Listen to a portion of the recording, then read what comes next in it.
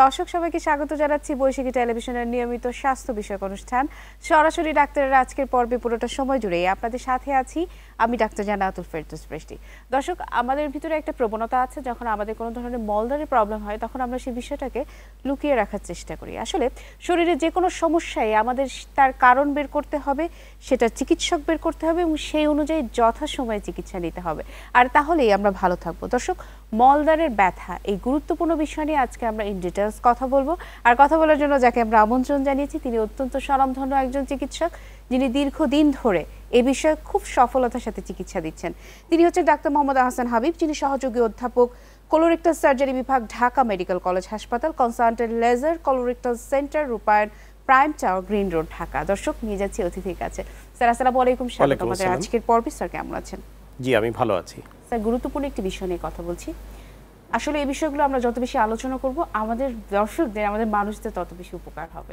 শুরুতেই আসতে চাই যে মলদারে কি কি কারণে স্যার ব্যথা হয় মানুষের? মলদারে ব্যথা একটা কমন সমস্যা। অনেক মানুষ এরকম কষ্টে ভুগে।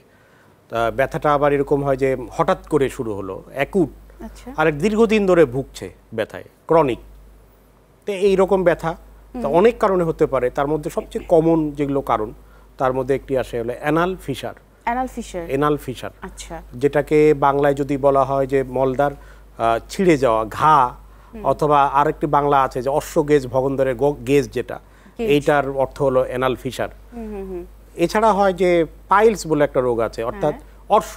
এই পাইলসে কিছু জটিলতা। নর্মালি পাইলসে কিন্তু ব্যথা হয় না। কিন্তু পাইলসে কিছু জটিলতা আছে যেমন থ্রোম্বোজ মানে পাইলসের কারণে ওখানে রক্ত জমাট হয়েছে তখন তার তীব্র ব্যথা হয়। তারপর হলো বাদ পাইলসের কারণে সে বের হয়ে আসে। বের হয়ে আসে কিন্তু হঠাৎ করে বের হয়ে আসলো আর ঢুকছে না। এটাকে বলে স্ট্র্যাঙ্গুলেশন স্ট্র্যাঙ্গুলেটেড ইন্টারনাল হেমোরয়েড এরকম হলে তার তীব্র ব্যথা হয়। স্যার আপনি কমন কজ হিসাবে আপনি শুরুতেই কিন্তু অ্যানাল ফিশারের কথা বললেন। জি। একটু অ্যানাল ফিশারে ঢুকতে চাই যেহেতু এটা কমন অ্যানাল ফিশার আসলে কি? মেডিকেল অ্যানাল ফিশার হলো যে একটা টিয়ার মানে ছিঁড়ে যাওয়া। আচ্ছা।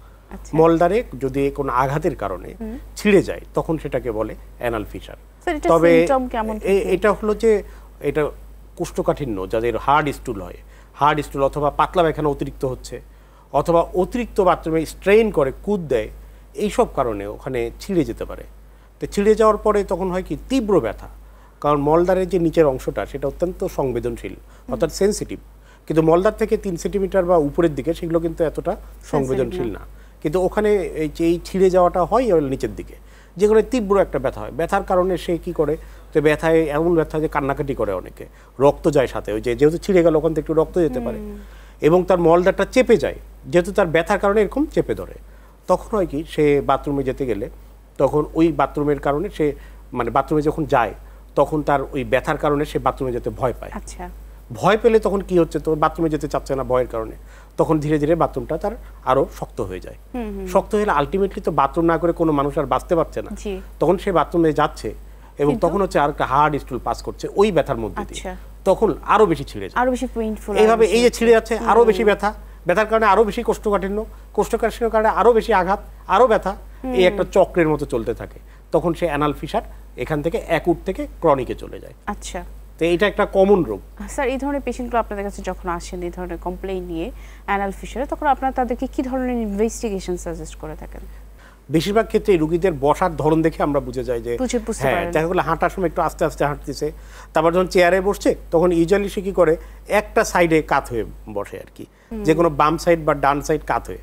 তখনই আমরা দেখেই বুঝে যায় যে এই রোগটা রোগীটা হয়তো অ্যানাল ফিশার ইয়াং এজে ইয়াং এজ অর্থাৎ বিশ থেকে চল্লিশ এই এজে এটা বেশি হয়। তা আমরা মোটামুটি ধারণা করে নিই যে অ্যানাল ফিশার। তা আমরা সেই রোগীর তো প্রথমেই পরীক্ষা নিরীক্ষা বলতে আমরা ওইখানে তাকে পরীক্ষা করে দেখি। বিশেষ করে আমরা কোলোরেক্টাল সার্জন আমরা সেই রোগীটার হিস্ট্রি নেওয়ার পরে অবশ্যই সে তাকে বেডে শুয়ায়ে আমাদের এক্সামিনেশন বেডে তাকে পরীক্ষা করি। তবে সাধারণত অ্যানাল ফিশার যেটা অ্যাকুট সেক্ষেত্রে আমরা কিন্তু ভিতরে মানে জেল দিয়ে অনেকক্ষণ ধরে অবশ না করে সাধারণত মলদারের ভিতরে কোনো পরীক্ষা করা যায় না। আচ্ছা। অনেক ক্ষেত্রে পরীক্ষা করা প্রয়োজন পড়ে। যদি কোনো পরীক্ষাগুলো পেইনফুল হয় কিনা?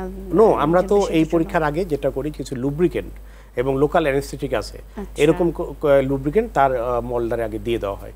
দিয়ে দেওয়ার পরে যদি তার ব্যথা অল্প থাকে তখন তখনই পরীক্ষা করে নিই। আচ্ছা। আর ব্যথা যদি খুবই মারাত্মক হয় তাহলে ওই সময় সাধারণত পরীক্ষাটা করা যায় না। তখন বলে আপনি একটু অপেক্ষা করেন আমি অন্য একটা রুগী দেখি। তারপর পনেরো থেকে বিশ মিনিট পরে আবার সেই রুগীটা তুলে তখন আমরা ইয়ে করি তখন দেখা যায় ওই জায়গাটা যথেষ্ট অবশ হয়। তখন সে ব্যথা পায় না। পেশেন্টের কমফোর্ট জোনটা সবসময় মাথায় রাখছেন। জি অবশ্যই। স্যার এই ধরনের পেশেন্টদের কি সার্জারির প্রয়োজন হয় কিনা চিকিৎসায়? অ্যানাল ফিসার তো দুই রকম যেটা হলো অ্যাকুট অ্যানাল ফিসার আর হলো ক্রনিক অ্যানাল ফিসার তা অ্যাকুট অ্যানাল ফিসারে কিন্তু বেশিরভাগ ক্ষেত্রেই ওষুধে নিরাময় হয়। এই জন্য কারোর যদি তীব্র ব্যথার সৃষ্টি হয়, সে শুরুতেই যদি ডাক্তারের কাছে আসে, সাধারণত সঠিক চিকিৎসা হলে বেশিরভাগ ক্ষেত্রে রোগী ভালো হয়ে যায়। আচ্ছা স্যার, আমার মনে হয় যে এই পেশেন্টগুলোর ক্ষেত্রে যে ঘটনাটা ঘটে, যে তারা একটু কনফিউজ থাকে, কোন ডাক্তারের কাছে যাব সার্জারির ডাক্তার নাকি মেডিসিনের ডক্টর এভাবে একটু হয়তো কিছুটা টাইম তাদের পাস হয়ে যায়। আপনি যদি একটু ইন ডিটেলস বলতেন যে শুরুতেই তাদের কোন চিকিৎসকের কাছে আসা উচিত কি কি স্টেপ তাদের নেওয়া উচিত এই ধরনের আসলে অনেকে এই বিষয়টা বলে যে আপনার যখন এই সমস্যা আপনি অবশ্যই শুধুমাত্র কোলোরেক্টাল সার্জনের কাছে যাবেন। কিন্তু আমি একটু ভিন্ন মত পোষণ করি। আমার কথা হলো কেউ যদি এই সাবজেক্টে ইন্টারেস্টেড হয় যে কোনো general surgeon if is interested in colorectal surgery এবং সেই যদি এইটার প্রতি তার একটা ডিভোশন থাকে এবং সেইটার বারবার ট্রেনিং করে অনেক বেশি স্টাডি করে he can treat adequately a colorectal হ্যাঁ। পারে। তো কোলোরেক্টাল সার্জনের কাছে আসলে একটা ভালো যে আপনি একটু স্বাভাবিক ধরেন যে একটা লোক যে যেই কাজটা করছে সেই কাজটা যত সাধারণ হোক যে ওই কাজটা রেগুলার যে করে আপনি কি তার মতো করে ওই কাজটা করতে পারবেন? যেমন একটা বই বাইন্ডিং করছে বই বাধায়ের যে লোক ও তো খুব সহজেই এক মিনিটে একটা বড় বই বাধাই করে ফেলে। কিন্তু আমাকে যদি দেয় আমি কি সেই বইটা বাধাই করতে পারব? কিন্তু আমরা যখন কোলোরেক্টাল সার্জারি একই রকম রুগী বারবার দেখি বারবার চিকিৎসা দিই তখন হয় কি সেই রুগীর দেখা গেলো শুনেই অনেকগুলো বুঝে যায় রুগীটাকে দেখলেই প্রথমেই বুঝে যায়। এমনকি অপারেশনের যে সফলতা সেটা অনেক সময় ডিফার করে যায় কারণ একটা লোক দেখা গেলো দশ রকম অপারেশন করছে আরেকজন একই রকম কাজ বারবার করছে তার অপারেশনের সেই কাজে তো পারফেকশন একটু বেশি আসবে এটাই আচ্ছা। স্যাভাবিক স্যার তার মানে অ্যাকিউটে অপারেশন আপনারা সাজেস্ট করছেন না ক্রনিকের ক্ষেত্রে আমাদের অপারেশন লাগে না আচ্ছা। ক্রনিকে যদি যায় তখন তার অপারেশন লাগে স্যার আপনি আহ, মলদ্বারে ব্যথার কারণ হিসেবে আমার আমি নোট আউট করে রেখেছি যে আপনি পাইলসের জটিলতার কথা বলছিলেন। সেক্ষেত্রে পাইলসের জটিলতা একটু আসতে চাই। কি ধরনের পাইলসের জটিলতার কারণে পেইন হয়? অনেক সময় রুগী হঠাৎ করে এসে আমাদের বলে যে ডাক্তার সাহেব আমার আগে থেকে একটু পাইলসের সমস্যা ছিল রক্ত রক্ত যেত। কিন্তু এই দুই দিন হলো আমার হঠাৎ করে জায়গাটা ফুলে গেল এবং অনেক ব্যথা আমি সহ্য করতে পারছি না। তা রুগীটা চিন্তা মানে তার যে একটা টেনশন যে অ্যাংজাইটি সেটা হলো যে সে মনে করছে তার ক্যান্সার হয়ে গেল। কারণ ওইটা যে একটা জায়গা ফুলে গেছে। বাট আমরা কিন্তু শুনেই বুঝতে পারি যে এর হলো থ্রোম্বোজ এক্সটার্নাল হেমোরয়েড অর্থাৎ ওই পাইলসের একটা জটিলতা হয়েছে অর্থাৎ একটা আচ্ছা। জায়গায় রক্ত জমাট হয়েছে। এটা ইউজুয়ালি পাঁচ সাত দিন পরে কমে যায়। আর পাঁচ সাত দিন পরে যদি ব্যথাটা না কমে যায় সেক্ষেত্রে আমরা তখন সেইটাকে একটু লোকাল দিয়ে বা অবশ করে একটু ওই ব্লাডটা ক্লোটটা বের করে দিলে সাধারণত ব্যথাটা কমে যায়। এটা কিন্তু খুব মানে কমন একটা সিমটম এবং এর যে ফলাফলটা যে খুব খারাপ সেরকম না। তো এটা ভালো হয়ে যাওয়ার পরেও হয়তো একটু চামড়া ওই জায়গাটা বেড়ে থাকে। এটাকে বলে থ্রোম্বোজ এক্সটার্নাল হেমোরেড আরেকটা সমস্যা হলো স্ট্রাঙ্গুলেটেড ইন্টারনাল হেমোরেড রুগী একেবারে দেখা গেলো ওই মলদার দিয়ে বের হয়ে আসছে আসার পর আর ঢুকছে না। ওই জায়গাটা ইনফেক্টেড হয়ে একটা বিশ্রী অবস্থা রুগীর লোকজন মনে করে যা আমার রুগী মনে হয় মরেই গেল। মরেই গেল তা এই এই এরকম রুগীও আমরা পাই। পরবর্তীতে দেখা গেলো যে ওটাও ওষুধের মাধ্যমে ভালো করা যায় ওটা আবার অপারেশনও করা যায় দুই রকম ই থাকে কারও কারও ক্ষেত্রে অপারেশন লাগে কারও কারও ক্ষেত্রে ওষুধ দিয়ে দিয়েই ওটা ভালো হয়ে যায়। আচ্ছা। এগুলো হলো কমন মানে কজ অফ অ্যানাল পেইন আচ্ছা। স্যার এই পাইলসের কথা যখন আলোচনা করছি একটা খুব কমন সব সময় সব মানুষের একটা কমন ব্যাপার থাকে। খুব কোশ্চেনও থাকে যে স্যার পাইলস মানে মলদারের সব সমস্যায় পাইলস কিনা? কারণ এই টার্মটাই আমাদের দেশে বেশি পরিচিত। এই ব্যাপারটা নিয়ে আপনি কি বলতে চান? আসলে মলদারের ব্যথা বলতেই সবাই মনে করে যে এটি তো পাইলস হয়েছে। ডাক্তার সাহেব অনেকে এভাবে জিজ্ঞাসা করি আপনার কি সমস্যা? পাইলস হয়েছে। হ্যাঁ। তা পাইলস তো আপনার সমস্যা না। পাইলস হলো রোগের নাম হতে পারে। হ্যাঁ। আপনার কষ্ট কি? সমস্যা কি বলতে হয় না? ডাক্তার সাহেব বললামই তো আমার সমস্যা পাইলস হ্যাঁ, হ্যাঁ, তখন আবার বলতে হয় যে আপনার কষ্ট কি হচ্ছে? কি কষ্ট হচ্ছে? আপনি কি জন্য আপনি আসছেন? কি কষ্টের জন্য? তখন সে বলে যে ডাক্তার সাহেব আমার তো ব্যথা করছে। তো পাইলসের কিন্তু এক নম্বর উপসর্গ কিন্তু ব্যথা নয়। পাইলসের জটিলতা হলে ব্যথা হয়। আচ্ছা পাইলস হলে শুধু পাইলস থাকলে ব্যথাটা ইউজুয়ালি না। পাইলস যদি জটিলতা না হয় তাহলে তো ব্যথা হবে না। একটু করে বের হয়ে আসে রক্ত যায় এইটাতে তার ব্যথা হবে না। তাহলে তার বেশিরভাগ রুগী যে বলছে পাইলস কিন্তু আসলে কিন্তু সে দেখা হলো পাইলস বলছে সে অন্য একটা বিষয় আমার কাছে মনে হয় আমাদের আজকের আলোচনার পর থেকে মানুষ এই কনসেপ্ট থেকে বের হয়ে আসবে। স্যার। অ্যাবসেসের কথা আপনি বলছিলেন। একটু অ্যাবসেসের বিষয়টাতে একটু আসতে চাই যে এটা অ্যাবসেস হলো কেন হয়? মলদারে অনেক সময় আমাদের হলো গ্রন্থি থাকে কিছু পাঁচ ছয়টা গ্রন্থি থাকে মলদারের ভিতরে। হ্যাঁ। এখানে কোথাও যদি ইনফেকশন হয় এই ইনফেকশন থেকে তার পুজ ডেভেলপ করে অ্যাবসেস সেইটা আবার ব্যাস্ট হয়ে পিস্টুলা হয়ে যায়। পিস্টুলার আবার বাংলা একটা ইয়ে আছে সেটা হলো ভগন্দর। এরকম ভগন্দর, আচ্ছা। রোগ সৃষ্টি হয়। তা অ্যাপসেস বাস্ট হয়ে একদম ভালো হয়ে যেতে পারে সেই সম্ভাবনা আপনার একটু কম শতকরা বিশ ভাগ। আশি ভাগ ক্ষেত্রেই ওই সত্তর থেকে আশি ভাগ ক্ষেত্রেই অ্যাপসেস থেকে আবার ফিস্টুলা ডেভেলপ করে। কিন্তু যখন প্রথম এই ইনফেকশনটা শুরু হয় তখন কিন্তু তার তীব্র ব্যথা থাকে। আচ্ছা। তীব্র ব্যথা। তারপর এই পুষটা যখন বের হয়ে যায় অর্থাৎ ফিস্টুলার দিকে হয়ে গেল তখন কিন্তু তার ব্যথাটা কমে যায়। মানে ব্যথা কমে গেল মানে যে সে মুক্তি পেয়ে গেল বিষয়টা কিন্তু তার ফিস্টুলা হলো। আচ্ছা আরেকটাতে জি ট্রান্সফার হয়ে ফিস্টুলাতে হলো। হ্যাঁ, কিন্তু হ্যাঁ। তার অ্যাবসেস অবস্থায় তার তীব্র ব্যথা আচ্ছা। তা এই সময় আমরা যেটা করি যে অনেক সময় অ্যাবসেস ওই ওই টাইমেই অপারেশন করে পুষটা বের করে দেওয়া যায়। হ্যাঁ। আর আমরা কোলোরেক্টাল সার্জন যেটা করি যে এই যে অ্যাবসেস কাটার পরেই যে আবার ফিস্টুলা হয় সেটা যাতে না হয় সেভাবে অপারেশন করি যাতে একবারে রোগীটা মুক্তি পায় একবারে যেন মুক্তি পেয়ে যায়। তার মানে সব কিছুরই কিন্তু সলিউশন আমরা পাচ্ছি স্যার। স্যার এবারও যে বিষয়টা আসতে চাই যে অনেক সময় চুলকানো বা ইচিং হওয়াটা মানুষের অনেক অনেক কমন প্রবলেম থাকে মলদারে এটা আসলে কোনো পেইনের সৃষ্টি করে কিনা বা এটার কারণ কি সে বিষয়গুলো যদি একটু বলতেন? এইটা একটা এটাও একটা কমন প্রবলেম ডাক্তার ডাক্তার সাহেব আমার তো মলদারে অনেক চুলকায় তা পরে দেখা গেলো এক্সামিনেশন করে পুরো মানে চুলকানে চুলকায় ওই জায়গাগুলো শক্ত হয়ে গিয়েছে একেবারে। স্ক্লেরোজ স্কিন বলে। তা বেশিরভাগ ক্ষেত্রে চুলকানোর কিন্তু কারণ পাওয়া যায়। তো এইটাও কিন্তু মলদার একটা ব্যথার কারণ। এই চুলকানোটা এত তীব্র হয় যে এইটা ব্যথা হিসাবে এসেও বলতে হয় মলদারে অনেক ব্যথা। তা আমরা প্রথমেই খেয়াল করি যে তার কোনো হিডেন কোনো ফিস্টুলা ট্রাক্ট আছে কিনা। পরীক্ষা করে দেখা হলো ওখান থেকে একটু করে পুজ বের হয় ওই যারা ভিজা থাকে ভিজা থাকতে থাকতে তার এরকম স্কিন ডিজিজ হয়ে গেছে স্কিন ডিজিজ মানে যে এমনি স্কিন ডিজিজ তা কিন্তু না তার একটা কারণ থেকে স্কিন ডিজিজ এটার কারণে হতে পারে। এছাড়া তার ক্রনস ডিজিজ বলে রোগ আছে যেখানে এরকম হয়ে যায় চামড়াগুলো। এইভাবে হতে পারে। তারপর তার ওখানে দেখা করল যে আগে থেকে একটা রেডিওথেরাপি পেয়েছে যে সার্ভাইকাল ক্যান্সার প্রোস্টেট ক্যান্সার এগুলো রোগী এরকম চামড়াগুলো এরকম থিকেন্ড হয়ে যায়। অনেক চুলকাতে পারে ব্যথা করতে পারে। এভাবে সে আসতে পারে। এছাড়া যে ওখানে সিম্পল ইনফেকশন হতে পারে যেমন হলো ফাঙ্গাল ইনফেকশন তারপর তার যদি এই ধরনের কোনো ইনফেকশন থাকে যে অ্যান্টিফাঙ্গাল ওটার একটা অ্যাপিয়ারেন্স থাকে। ফাঙ্গাসের ইনফেকশন আমরা জানি যে একটা অ্যাপিয়ারেন্স থাকে ওগুলো দেখলে বোঝা যায়। এভাবে নানাভাবে কারণে তার হলো ওই জায়গাটা চুলকাতে পারে। ইভেন তার যদি আইবিএস রোগ থাকে আইবিএস বলে রোগ আছে তারপর ইনফ্ল্যামেটরি বাউল ডিজ এগুলোর ক্ষেত্রে ওখান থেকে একটু করে মিউকাস ডিসচার্জ হয়। ডিসচার্জ হলে তখন ওই জায়গাটা একটু ভিজা ভিজা থাকে ওখান থেকে। ওটা চুলকায়। ইভেন ইন হাইজিন হাইজিনের কারণে অনেকের এরকম হতে পারে যে হাইজিনটা অ্যাডিকুয়েট না। আচ্ছা। আবার অনেকের আছে যে লিক করে মানে ওই জায়গাটা মলদারের এটা দুর্বল হয়ে গিয়েছে কোনো কারণে। এমনি হতে পারে যে বার্ধক্যজনিত কারণে অনেকের নানা রকম ডিজিজ থাকে তাদের এরকম দুর্বল। দুর্বলের কারণে একটু করে লিক থাকে ভিজা থাকে এবং এই কারণে তার সবসময় চুলকায় চুলকায় ওই জায়গাটা একটা ক্ষতের মতো সৃষ্টি হয়েছে। এভাবে বিভিন্নভাবে পেইন নিয়ে আসতে পারে।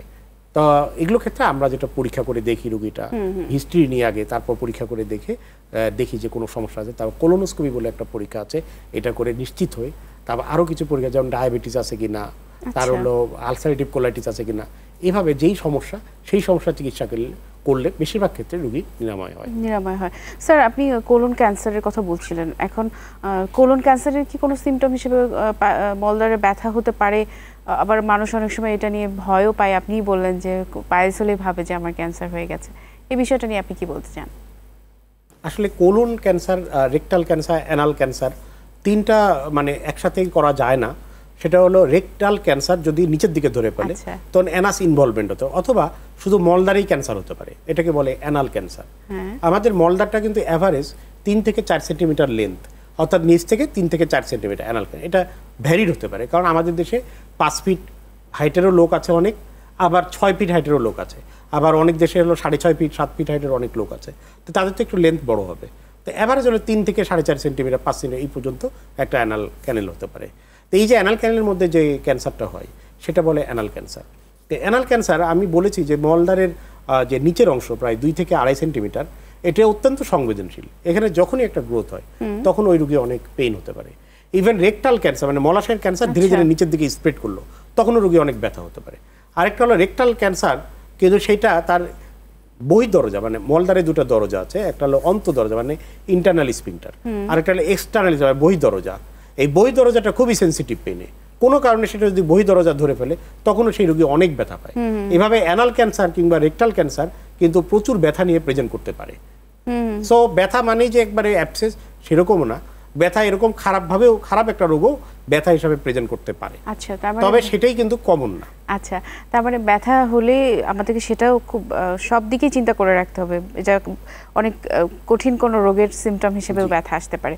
সেক্ষেত্রে দেখা যায় যে মানুষ বা আমাদের দেশের মানুষের সত্যি কথা বলতে কি আমাদের দেশের মানুষের একটা টেন্ডেন্সি আছে যে কোনো ব্যথা মানে এর ওষুধ পেইন কিলার ফার্মেসি থেকে পেইন কিলার নেওয়ার একটা প্রবণতা আছে। হয়তো আপনি ওই ধরনের রোগী অনেক পেয়েছেন। এই বিষয়টা নিয়ে আপনি কি বলতে চান এই অ্যাওয়ারনেসটা নিয়ে? আসলে আমি আমার একটা এক্সপিরিয়েন্স আজকে না বলেই পারছি না। একটা রেকটাল ক্যান্সার আমি প্রায় ছয় মাস আগে দেখেছিলাম। হ্যাঁ।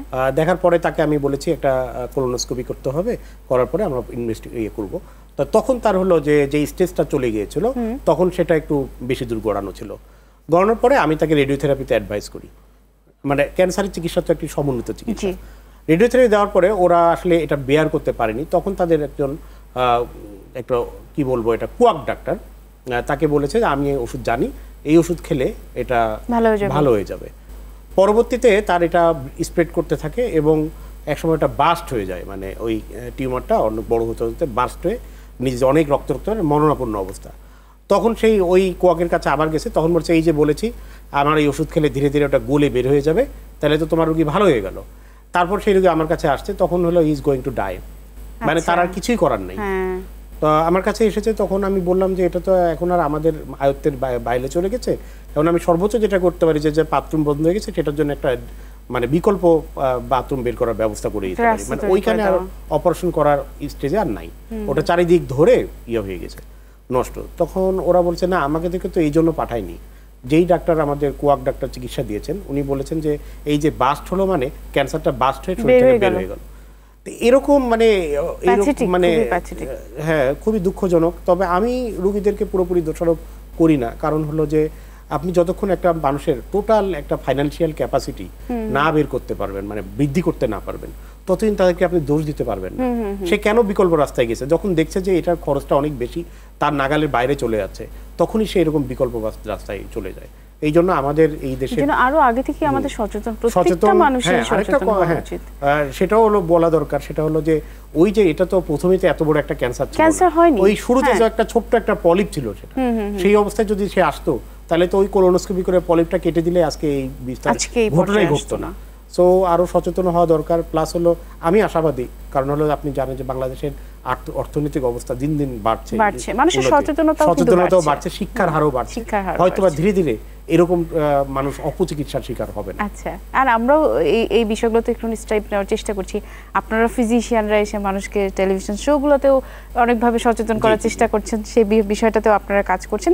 একটু স্যার কোষ্ঠকাঠিন্যে আসতে চাই। আমরা জানি যে কোষ্ঠকাঠিন্য থেকেই পাইলস ফিশার এগুলোর সব কিছুর উৎপত্তির একটা কারণ হিসাবে প্রথমে শরীরে থাকে। সেই বিষয়টার সাথে কে কার সাথে কানেক্টেড আই মিন কোষ্ঠকাঠিন্যের সাথে পাইলস ফিশার ফিস্টুলা এই কে কার সাথে কানেক্টেড এই বিষয়টা যদি একটু বলতেন। আসলে মলদারের যে একটা বলে হেলথি অ্যানাল ডায়েট বলে একটা কথা আছে যে কি কি করলে মলদারের জন্য ভালো থাকবে মানে রোগ কম হবে। তো তার একটা মানে ব্যাড ইয়া হলো কোষ্ঠকাঠিন্য। জি। আর দুই নম্বরে আসে হলো ক্রনিক ডায়রিয়া দুটা রোগই কিন্তু কোষ্ঠকাঠিন্য সবচেয়ে কমন তারপরে হলো ক্রনিক ডায়রিয়া তা দুটোই ক্ষতিকর। কোষ্ঠকাঠিন্যতে যে হয় যে এই যে শক্ত বাথরুমটা যখন নিচের দিকে নেমে পড়ে তখন এক নম্বর হলো তার হলো একটা শেয়ারিং ফোর্স মানে একটা ফোর্স দিচ্ছে বারবার। এই ফোর্স দেওয়ার জন্য হয় কি অ্যানাল ক্যানেলের যে একটা আবরণ সেই আবরণটা ধীরে ধীরে দুর্বল হয়ে নিচের দিকে ঝুলে পড়ে। অর্থাৎ সেই রোগীর পাইলস বেশি হয়। আবার এই যে আঘাত পাচ্ছে আঘাত পাওয়ার কারণে অনেক সময় ছিঁড়ে যায়। ছিঁড়ে গেলে তার হলো অ্যানাল ফিসার এবং অ্যানাল ফিসার হয় তারপর তাদের হলো ইনফেকশন রেট একটু বৃদ্ধি পায় যার কারণে অ্যাপসেস বেশি হয় ফিস্টুলা রোগ বেশি হয়। অর্থাৎ কোষ্ঠকাঠিন্য রোগীদের এই ধরনের রোগগুলো বেশি হয়। আচ্ছা। কোষ্ঠকাঠিন্য রোগ অনেক কারণে হয়। তা এটা প্রতিরোধ করা কোষ্ঠকাঠিন্য যাতে না হয় এটা প্রতিরোধ করতে পারলে কিন্তু এগুলো থেকে অনেকখানি একটা রোগী মানে রোগী আচ্ছা। না মানুষ রোগ থেকে নিজেকে দূরে রাখতে পারবে। তার মানে কোষ্ঠ শুরুতেই আমাদেরকে সচেতন হতে হবে। স্যার প্রোকটাইটিস এই বিষয়টা নিয়ে একটু শুনতে চাই। প্রোকটাইটিস হলো যে এই মলদারে ইনফ্ল্যামেশন মানে এটা বাংলা ভাষায় বলা হয় প্রদাহ। তা আমার হলো যে আমি তো কোলোনোস্কোপি দীর্ঘদিন থেকে করি কোলোনোস্কোপির একটা অ্যাপিয়ারেন্স আছে। মানে ওখানে দেখা গেল নর্মাল না। আচ্ছা। কেমন এগুলো অ্যাবনর্মাল একটা অ্যাপিয়ারেন্স এবং ইভেন আমাকে যারা হেল্পিং হ্যান্ড থাকে যারা টেকনিশিয়ান তারা পর্যন্ত প্রোক্টাইটিস এখন স্যার এই তো প্রোক্টাইটিস মানে ওখানে গেলেই বলে বলে স্যার এই যে প্রোক্টাইটিস আচ্ছা। তা এই মলদারের উপরে যে পনেরো থেকে বিশ সেন্টিমিটার জায়গা অর্থাৎ রেকটাম এই রেকটামে যদি কোনো অ্যাবনর্মালিটি থাকে মানে প্রদাহ থাকে ইনফ্লামেশন থাকে that is known as proctitis এটা স্যার পেইনফুল হয়। এইটা হলে ব্যথা করে এইটা হলে রক্ত যায় আম যায় এবং অনেক সময় আমার দেখা গেলো ডিয়ারি মানে মলদার পরীক্ষা করে ওইখানে যখন আমরা মেশিন দিয়ে দেখি দেখার পরে দেখা গেলো যে মলদারের ওই জায়গাটা নর্মাল আচ্ছা। কিন্তু রুগীর রক্ত যাচ্ছে। হ্যাঁ। তখন আমরা অবভিয়াসলি সেই রুগী কোলোনোস্কোপি করাই। আচ্ছা। এই কোলোনোস্কোপি করে দেখা যায় যে এরকম অনেকের সমস্যা আছে প্রোক্টাইটিস তো প্রোক্টাইটিস রোগের হলো যে কারণটা নির্ণয় করতে হবে কেন হচ্ছে আমরা বায়োপসি নিই। বায়োপসি নিয়ে কারণটা নির্ণয় করে সেই অনুযায়ী চিকিৎসা দিলে ইমপ্রুভ করে রুগী। আচ্ছা। ভালো হয়ে যায়। স্যার অনেকগুলো বিষয় নিয়ে আলোচনা করলাম। দর্শকরা অনেকগুলো ইনফরমেশন আপনার কাছ থেকে পেলাম আমরা একদম শেষ পর্যায়ে চলে এসেছি। আপনাকে অনেক ধন্যবাদ। ধন্যবাদ আপনাকে। ধন্যবাদ দর্শক শ্রোতাকে। দর্শক, এই ছিল আমাদের আজকের আলোচনা অনুষ্ঠানের একেবারে শেষ পর্যায়ে চলে এসেছে। আজকের আলোচনা নিশ্চয়ই আপনাদের উপকারে আসবে।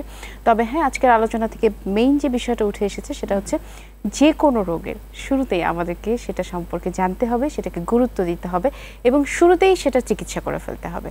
কারণ আমাদের সবাইকে খুব সুস্থ সুন্দরভাবে পৃথিবীতে বেঁচে থাকতে হবে। দর্শক, সবার সুস্থ সুন্দর জীবন কামনা করে আমি আজ এখানে বিদায় নিচ্ছি। আগামী পর্বে আবারও হাজির হব। ততক্ষণ পর্যন্ত আপনারা সবাই ভালো থাকবেন, সুস্থ থাকবেন, নিরাপদে থাকবেন। বৈশাখী টেলিভিশনের সাথেই Bueno, Allah Hafiz.